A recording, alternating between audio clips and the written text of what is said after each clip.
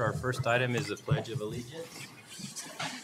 I pledge allegiance to the flag of the United States of America and to the republic for which it stands, one nation under God, indivisible, with liberty and justice for all.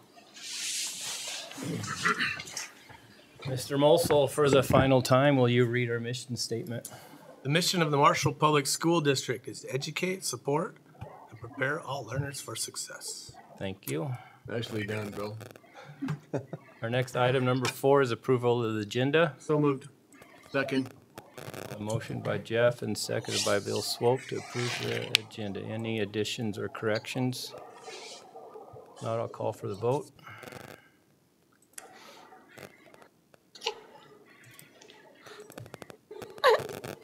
And that is approved.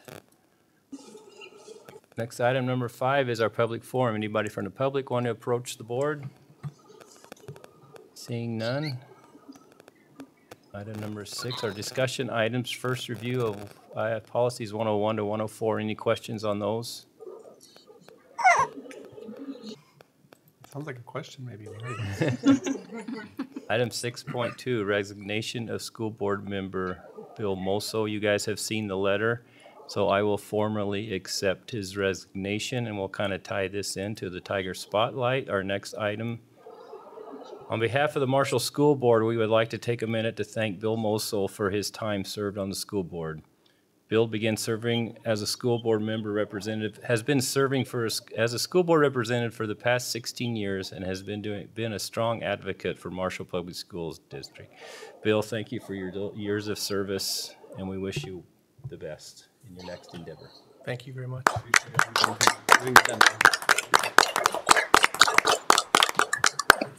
You gotta go take a picture.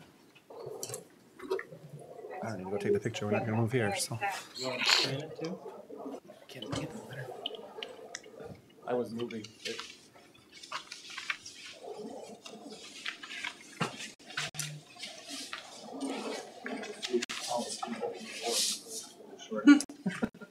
Stacy, Stace, that's a good move for him. Good move.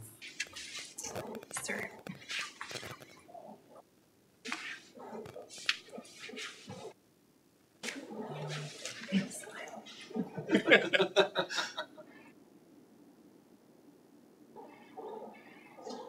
I was also wondering, is it okay if I give just a shot of it? Yeah, absolutely. Okay with me. Thanks for coming.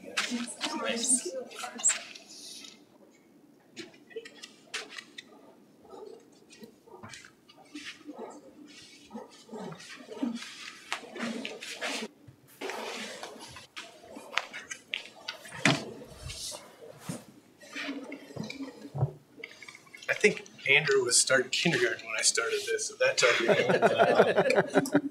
Couple years ago.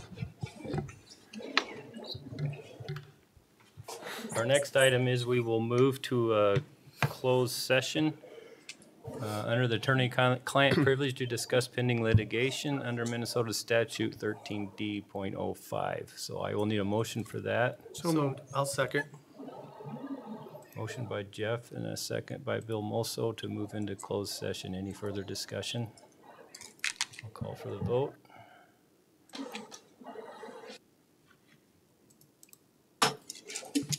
And that is approved. Jeremy, if I could just make a quick statement about that before we actually move into the closed session? Yep. Okay. Um, The open meeting law does require us to make a brief statement about why we're closing attorney-client privilege before we move into that session. Uh, So this session is necessary to have a confidential conversation with my clients in order to share legal advice and develop strategy surrounding a pending litigation matter where Mary Kay Thomas is the plaintiff.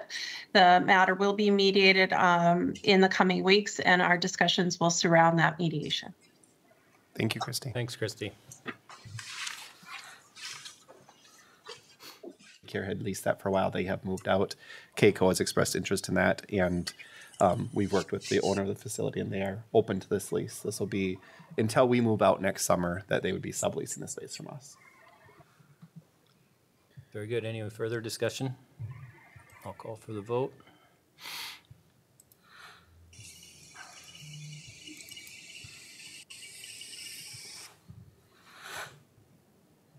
Approved. Our next action item is approval of application and timeline to fill Bill's vacancy, to fill the board vacancy. Um, I don't know if you guys had a chance to look at that. There is one typo, though. The, the second line says we're gonna post it from December fifth to December twenty-eighth. That should be the twenty-first, right? Twenty-first. Okay. Yep. So does it look okay to everybody how we're gonna fill this position? Good to me. I'll share that we have worked with MSBA on this process. Um, there is not a formal process laid out by MSBA, so we've worked just on kind of best practice on um, on this because Bill's position is up for election next November. Um, the board can approve this process and appoint somebody to fill that vacancy until November, and then any um, candidate would have to run um, through the full election the next fall. So we'll be seeking um, candidates to run and we would appoint them as of January 2nd. And then at the January 2nd meeting, um, we can assign them to different committees and such. The candidate that um, the board then selects, or anyone who, who runs will be reviewed by the board chair.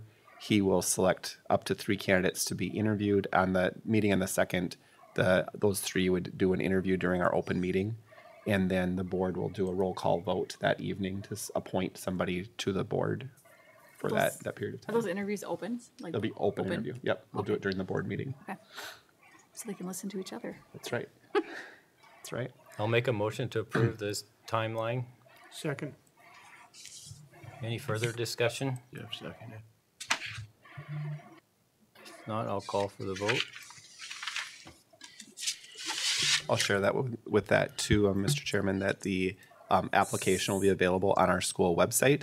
Also, if anybody has an interest and wants to know more about it, they could reach out to the district office and we can forward it to, to them as well. So, Very good. Thank you. Next item is approval of the consent agenda. So moved. Second. Motion by Bill Mulso, second by Bill Swope to approve the consent agenda. I will call for the vote.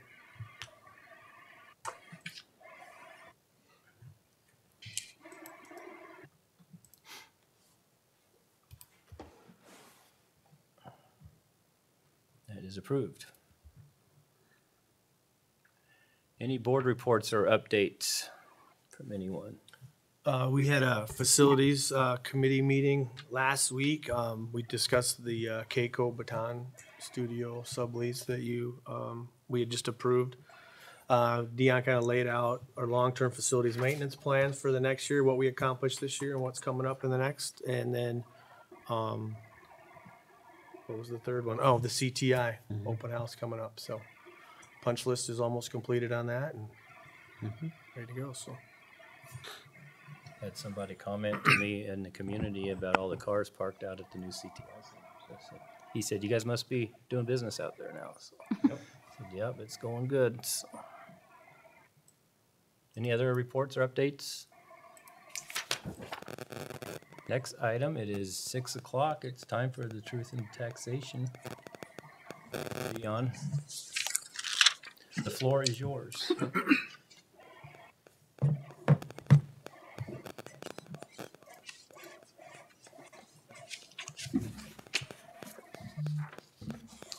All right, thank you, everybody. Um, This is our annual Truth and Taxation presentation. Um, State requires us to do this uh, public meeting in between the 24th and the 30th um, after 6 o'clock PM. And it can be part of our regular meeting as it is today. Uh, The present, the presentation has to be about our current budget, prior year actual revenue and expenditures, proposed property tax levy, uh, including the increase, and then specific purposes of the increases. Uh, Just to point out some of the changes um, that the state had during their legislative um, last year, we had the 2% increase, or $135 in the 22-23 last year's school year. Uh, This year, we were fortunate enough to get 4%, um, which um, we appreciate the increase, and it's a great start and hopefully a good conversation to keep going Um, Because as you guys know, the state general education revenue has not kept up with inflation. Um, Our current fiscal year 23-24, which we are in, would need an additional $1,282 per pupil or 17.9% per pupil increase just to keep up with inflation. This kind of gives you an idea of what that looks like uh, when we compare our general ed to the inflationary um, rate. Uh, Unfortunately, it keeps going up, and I know we all uh, know that from the gas pump and the grocery store. um, And when you, you're out and about, unfortunately, the projection in '25 um, shows us the largest gap. So I show this one every year because our levy cycle gets a little confusing. Um, We're going to follow the orange line. So from June to December of 2023, we work on the levy. We submit figures to MDE so the initial levy amounts can be calculated. Then the board um, approves or had approved the maximum levy back in September. Between September and October, we do any adjustments that need are needed. December, we do the truth and taxation. And then hopefully um, the levy is approved uh, into, at the next meeting in December. If you look at the next line down, uh, once the levy um, is certified, we start working on the 24-25 budget, the preliminary budget. Um, We work on that, typically the preliminary budget in January, and then we do the presentation in June. Um, From July of 2024 to June of 2025 is the fiscal year 25 school year. That's when the levy is actually recognized that we're presenting tonight. Finally, the orange line on the bottom is from July to November of 2025, when the levy work is presented um, and we do the audit, um, and then the cycle just starts over again. So we have um, six different fund balances. One of the fund balances uh, that we don't go over is our construction fund, which is Fund Six. Um, The next few slides we'll be doing, we'll be explaining um, a comparison um, of the prior year um, actuals, since our audit is done, of the revenue and expenditures uh, compared to the 23-24 original budget. And just want to point out the numbers are the original budget. We're currently working on our revised budget. So this shows the revenue um, actuals. General fund revenue is up due to the increase in the general revenue formula and our enrollment. The food service revenue estimate budget increases due to uh, going from paid breakfast and lunch to the free lunches. We should see an increase, and we have seen an increase in meals served. Capital revenue decrease is almost 500,000. That's due to us receiving that solar grant um, funds.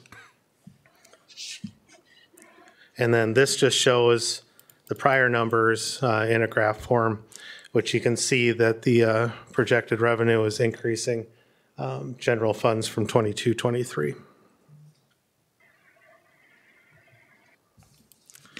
Uh, This graph here shows it by source.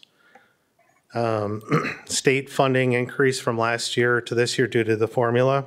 Federal funds, you're seeing a decrease due to us spending less or actually um, using up the rest of our ESSER funds or COVID funds this year. Expenditure comparison, um, general funds increase from 22 to 23 um, are right in line with past increases, right around that 3 to 4%. Food services mentioned prior, along with the revenue expenditures should increase. Um, Also with the increased meals served, we should see the revenue also increasing. Capital outlay estimates increased due to some of our projects that were scheduled to be completed in June of 2023, but ended up being uh, completed in July of 2023, so they get posted to this year instead of last year.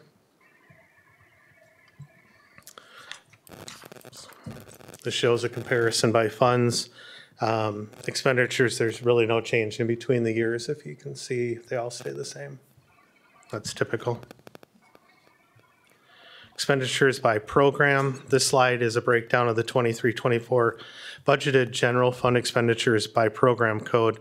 Um, As you can see, we're in the business of teaching students, um, and almost half of our budget, 49.16, goes to our regular um, instruction. The second largest goes to special education, which is 19.07. And then 10.1% is budgeted for sites and buildings. You can see the breakdown in the other, the other programs there. Expenditures by object code, this slide breaks down the general fund by object code. And again, a majority of our expenditures goes to salary and benefits, as it does for every school, uh, which is a little bit over um, 8 85.29% of our budget in salary and benefits. Uh, Each year, we have to do a budget publication, which shows our last year actuals to this year's um, budget.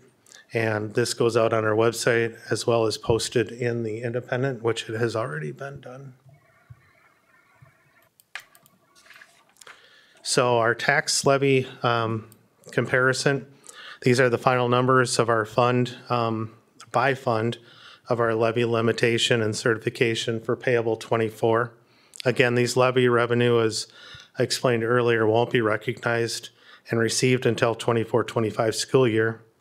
As you can see, our general levy is increasing 11.5, but our overall levy is actually decreasing by 0.48%. Later, we'll break down that increase and decrease between funds.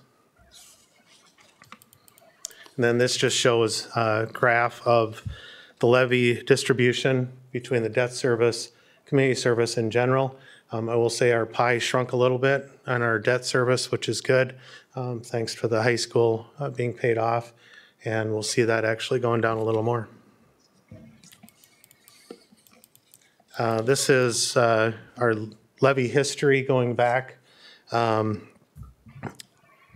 Basically, I just wanted to show this to see, show the, show the board, you know, 1920, we had the passing of the building referendum.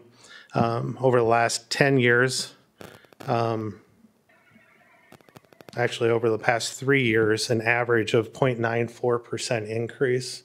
Um, So I think we're doing well for our public, um, our taxpayers. So just a little property tax background. Um, Every owner um, receives their property taxes, um, taxing their jurisdictions in which the property is located. Each taxing jurisdiction sets their own tax levy, often based on the limits of the state law. The county sends out the bills, collects the taxes from the property owners, and then distributes them back to um, basically the jurisdictions, which we're one of. Um, School district property tax. Uh, Key steps in the process are summarized on the next slide. Any of the steps may be, may affect the taxes um, of a parcel of property, but district has control over uh, only one of the seven steps, which we'll show you.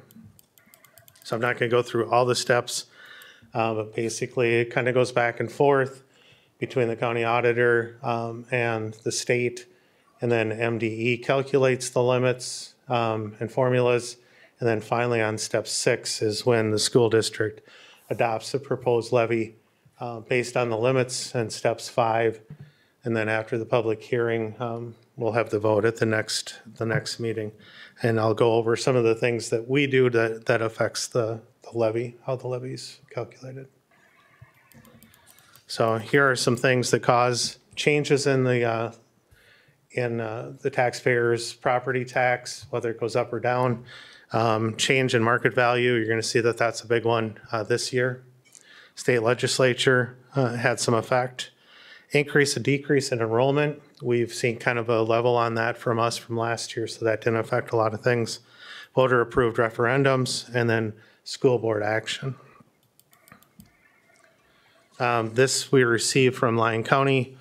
Um, As you can see in 22, 23, the estimated market value has an overall increase of 11.98%. This again is set by the city or the county assessor. If an individual has any questions in regards to their property tax market value, they should contact the Lyon County. Um, So each year I, I try to grab some samples um, just to point out the different areas of the property tax uh, to take a look at. This sample is a copy of the property tax form for a property tax owner or property owner that should have received Uh, just want to point out a couple of areas. First, at the top, it shows the taxable market value. Again, the school district does not control the market value. Uh, Below, I separated it out in colors just to point out that the property tax also isn't just the school district. Uh, This is a property uh, owner's example, as you can see, where the Lyon County portion decreases $237.03. Uh, The city portion had increased 164.83, and the school district's portion decreased 178.74. Uh, This taxpayers overall decreased um, 4.6% over the prior year, or 258, uh, $252. We have had a few questions come in on the school district section of why the voter-approved portion has decreased, but the other local levies has increased. With the high school, the 2021A school building bond being paid off in fiscal year '24, uh, the final debt service levy was taxable payable 2023. It's our goal to keep the level uh, debt service tax from year to year. The bond structure is set up to pay off the greater amounts um, on our facility bonds, which had been used for parking lots, indoor air quality at Parkside, um, boiler and HVAC system at Parkside, along with the middle school HVAC system. So on the proposed tax statements that were mailed out, you can see there's a reduction in the voter approved, which was the high school, and a more of an increase on the other lines, which is our facility maintenance bonds. Any questions on that? Okay. Uh, This is just another sample.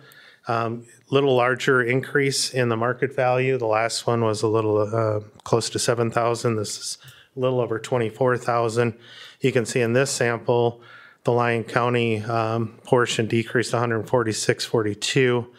The city's portion uh, increased 251.92, and the school portion decreased uh, 132.84.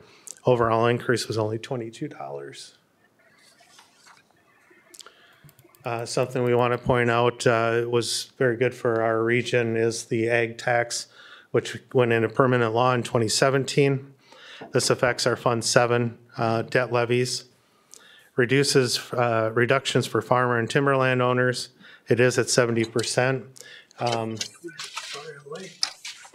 There was, um, there was talk of trying to increase that um, but it hadn't gone through legislature, so right now it's at seventy percent. The revenue from the ag to school comes from the state income, sales, and other um, tax revenue. So this is just kind of a background of where we came to get to that seventy percent. Um, From the past couple of years, it had increased each year. So oops, that didn't make it. That first row should say 2022 uh, total that the Marshall Public School District landowners had saved was around 651,000.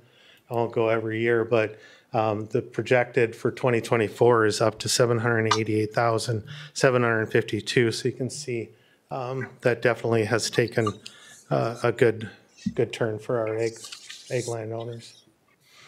This graph gives another look at how that's increased since 2017 when it took place. Um, So it's definitely increased the right way. Uh, This is another sample. I wanted to pull a couple samples from some ag land property tax. Uh, A few areas of importance on this form. Uh, This property owner's taxable market um, did increase. Try to get the right one. Sorry uh, did increase $81,539. And also want to point out uh, its comparison to the next one. This one, uh, property was 10.58 acres. Um, Second part I want to point out is up on top, the school credit, the bond credit. Um, It's separated out. It doesn't show it at the bottom. It comes off the bottom, but it doesn't show in a separate line.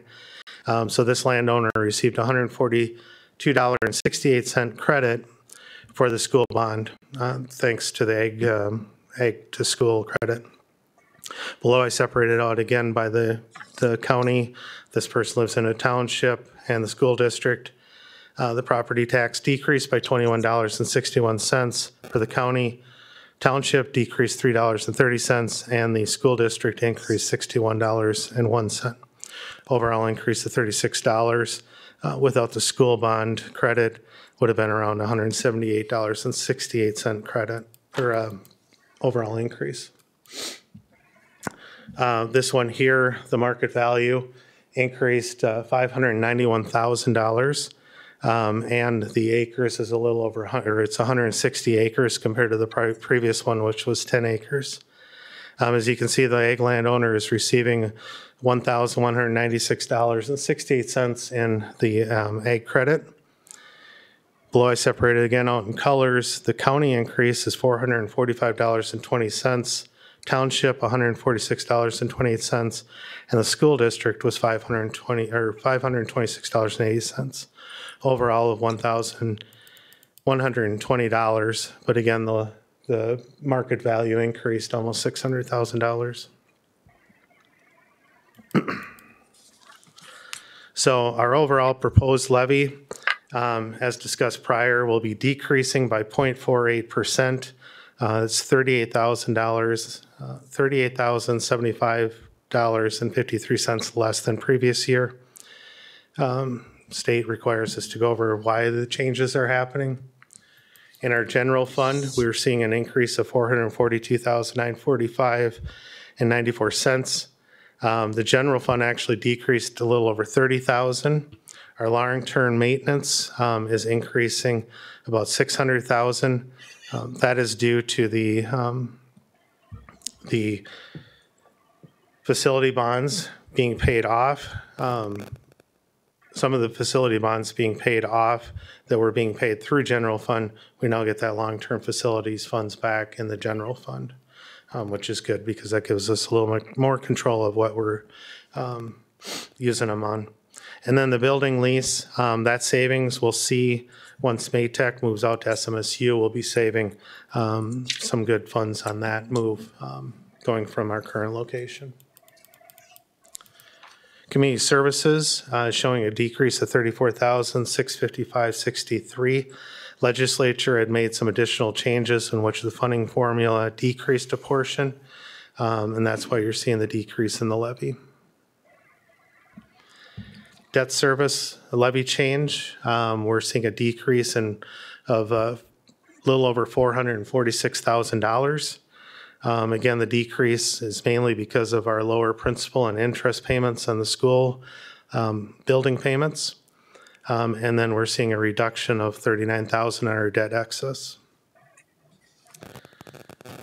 So overall, uh, this gives a breakdown of what our proposed levy is. Um, It's the seven million eight hundred eighty-four thousand six hundred nine dollars and forty-eight cents. Um, Again, to be payable in '24. So our schedule of events, the board approved the maximum levy in September. Uh, Mid-November, we did the proposed tax statements, or the proposed tax statements were mailed out by the county. We're doing the tax, uh, truth of taxation hearing today. And then at the 18th, we'll recommend that the board certify the levy amounts. So now I open it up for any public comments or questions.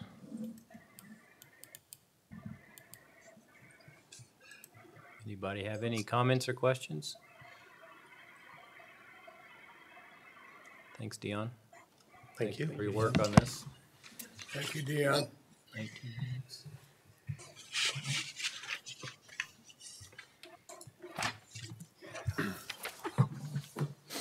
Our next item is adjournment of the meeting. I will adjourn the meeting.